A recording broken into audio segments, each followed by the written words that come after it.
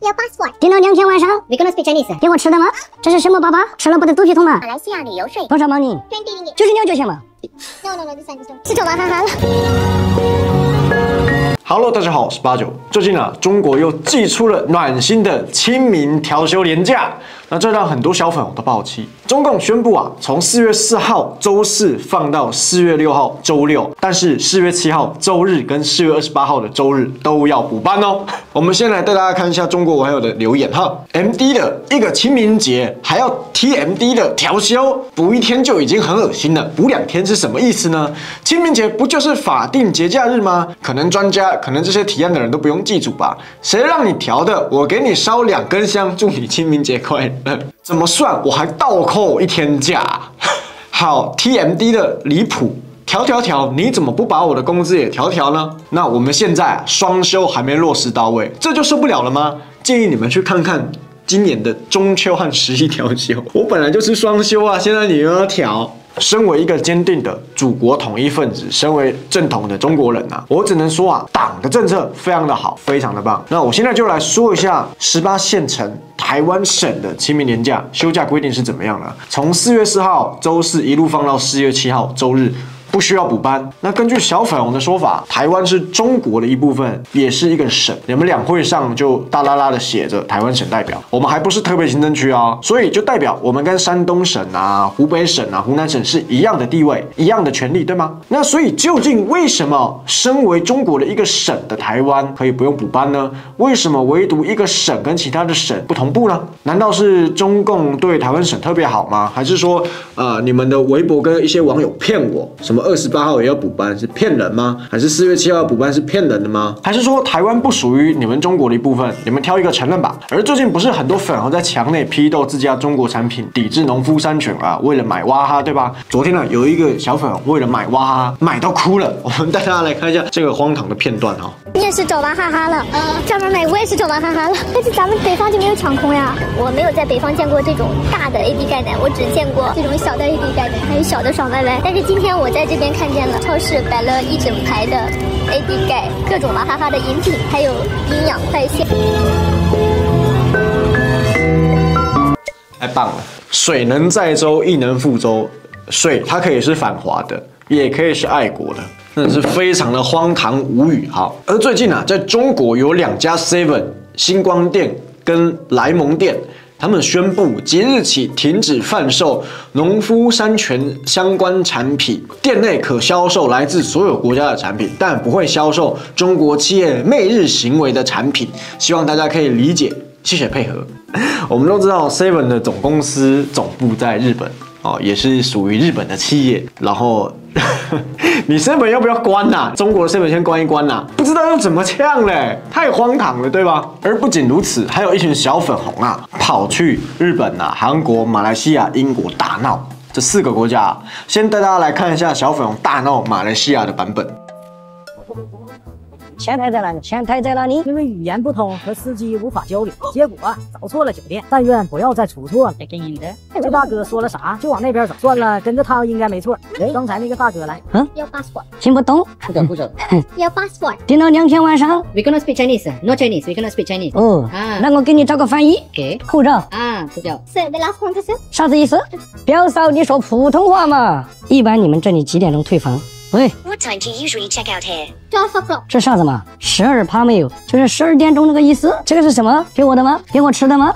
这是什么粑粑？吃了不得肚皮痛吗？整点水来干。I want to collect twenty ringgit. 啥子？You pay, you pay at 听不懂，真的听不懂。马来西亚旅游税多少毛你？twenty ringgit two zero. 九十六就行了，这么多啊！明天早上有没有早餐？这一楼。那我走了，今天晚上有点晚了。好了，我们看完这条影片了，明显他就是故意的嘛。你明明会说英文，你故意不说，也说不好。最好是出国 check in check out 这种基本的、最简单的国小生都应该会的绘画，你不会讲，连护照的英文都不知道是什么，出国都不用做功课吗？人家给你吃。饼干，你说这个是粑粑，然后你最后还把那个粑粑吃掉了。大家还记得去年一堆小粉跑到欧美也是这样拍，对不对？拍了各种各种的影片，跟那个店员说中文，有时候在片尾或是片头强调，哎。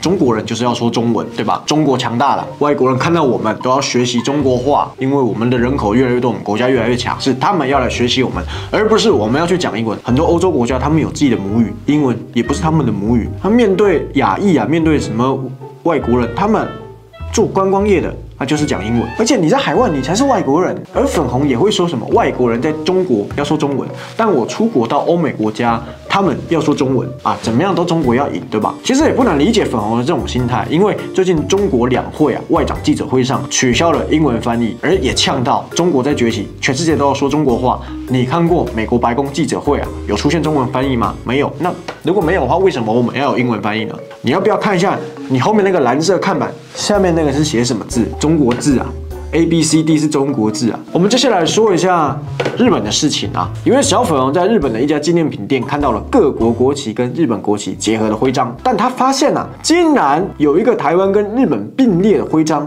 并且发文痛骂日本搞台独，是不是都不想要赚咱们中国人的钱呐、我想跟你说啊。你自己没有发现中共国是亚洲临近日本卖的最差的一个吗？新加坡的卖光了，其次是台湾的。顺便跟你说啊，在台湾旁边的这个雪山狮子旗，严格上来说，它也是辱华。雪山狮子旗是什么？也就是现在西藏藏独的国旗。当然了，为什么这个销量跟中国一样都没有什么人买？首先啊，我们要知道一下，藏人跟新疆人出国是比中国其他省份的人更麻烦。注意啊，我这边说的是平民一般阶层，不是说什么在新疆当官的啊，或是新疆的明星、西藏的明星，我不是说那一类人，我是说就一般像我们这样，他们连在中国自己境内去其他省份租旅馆、去地铁安检，或是查这个身份，都会另外再被加强待遇。这个网络上其实非常多的影片，我以前节目也有连线过啊、呃西藏的人、新疆的人，对吧？他们也跟我们讲这个，国家规定的在你这，你这新疆人不能住是吧？啊，习近平主席，习近平主席规定的，维吾尔族，我又不是维吾尔族，我又不是维吾尔族。嗯，这新疆那边的人不让不让入住是吧？暂时还不支持，是你们这个公寓明确规定的是吧？暂时是不支持。我们今天遇到了很大很大的一件事情，知道吗？我们来了广州，然后去酒店，酒店不让我们住。你们你你们知道他们说什么吗？他们说新疆人不能住。你如果要取得护照，你要先去当地派出所申请，然后层层审批到最大的警局，之后再交付给办理护照的单位，都通过了这个图表跟流程啊，你才有机会拿到这个护照，然后再去申请签证，再出国。所以为什么这个雪山狮子旗卖不太好的原因，也在于此，出国的技术太少了。除非是已经跟达赖那群出逃的后代子孙那一批例外，但是相比中国人的基数，他们还是非常的少。我们还是把重点拉回来，身为一个中国人，现在应该要做什么？配合爱国的运动。那现在爱国的运动是什么？抵制日本的一切。首先，你去日本玩，你就要先把自己给批斗、批倒了，对吧？中国的国旗是红色的，我们发现日本主要的国旗的最醒目的颜色也是红色的。你又说日本插中国友好是什么意思？日本要插中国，所以就也就是说，日本的这个红色照亮了、血染了中国大地。好，然后还打着这个虚伪的友好。你们想要干嘛？你们想要做什么？中国的国旗到底在干嘛？建议去批斗一下哈。我最近发现了一个日本的元素，公众号封号跟禁言的图案，伤害了十四亿人民的感情。爱国之士，你们要不要抵制一下？还有这个哈，中国高速公路的服务区为什么是刀和叉，而不是勺子和筷子？细思极恐啊，各位，你们想要干嘛？你们想要做什么？中国人就要用筷子，懂不懂？我们再看一个中国女孩穿着和服。被扭到了派出所，女孩不愿意进去，说派出所这个词本来就是从日本传来的。警察没办法，站在门外要她交罚款，因为没有现金。警察拿出二维码要她扫，女孩拒绝交钱，说二维码也是日本人发明的，坚决不扫。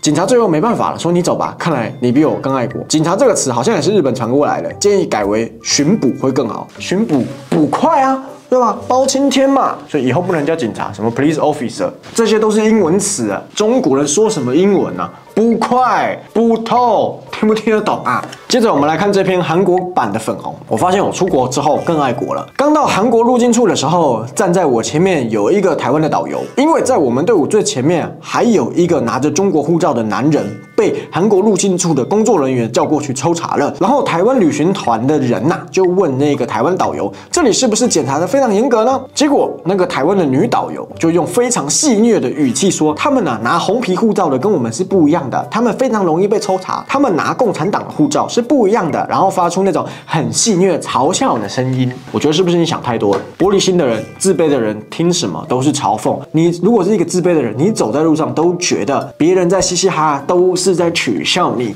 穷，或是取笑你的外貌。而只有英国版本的是怎么样呢？最近有一位英国伦敦大学的老师啊。近期在课堂上引用了二零一四年全球奴隶制的指数。那这份报告里面啊，说什么呢？第一名最多奴隶数量的是印度，第二名是中国，比例上最高的是朝鲜啊，什么乌兹别克。而这个现代奴隶的定义跟哦我们那种传统古代那种概念是不太一样的。我被卖身啊，我被囚禁啊，我要去跪着服务人家，也不是像铁链女那种，而是哎，你有没有强迫劳动力？你到底有没有自己的时间？你到底是不是你自己？没有相对的待遇。而全世界每个国家都有比例高或低的问题，但是从研究的报告中指出啊，符合这些条件最最多最多的都是亚洲的国家或者非洲的国家居多，而这所学校的中国人比例也是越来越高了。所以老师也以此为题，希望同学啊可以独立去思考，分组探讨一下。哎，你们是中国人，你们也有中国的血统，但为什么二零一四年的指数啊，中国是名列前茅的呢？希望大家可以去思考一下这后面啊的逻辑跟原因，还有如何解套，对吧？这是一个很正常的学术研究。结果许多中国籍的学生跟中国籍的老师说，这就是歧视。所以话又说回来了嘛，有些人。去了英国，去了欧洲，移民了，去读书了，长居了，永居了，还是爱党爱国，不许你讨论二零一四年全球奴隶指数的中国存在的问题，讨论的就是负面，讨论的就是歧视。近年来，英国的大学收入啊，很大比例是来自海外的留学生。以二零一八年到二零一九年跟二零二一年到二零二二年的对比来说，来自海外学生的收入就从三百一十三亿英镑增加到四百一十九亿英镑。所以在金钱的压力之下，老师暂时被停止了。大家都是明白人，知道说欧美的环境比较好，所以我要去欧美读书，我要去欧美拿永居，我要弄投移民的方式、投资的方式，因为我爸爸、我妈妈在中国可能是赵家人等级的，有这个闲钱让我去洗身份、去洗这个学历，但是你又不敢去承认跟探讨中国存在的客观问题，讨论的就是歧视。那你回中国读书啊？你为什么要出来？好，今天影片到这结束，喜欢记得订阅，不喜欢记得一定要把我封锁，我是八小姐的拜。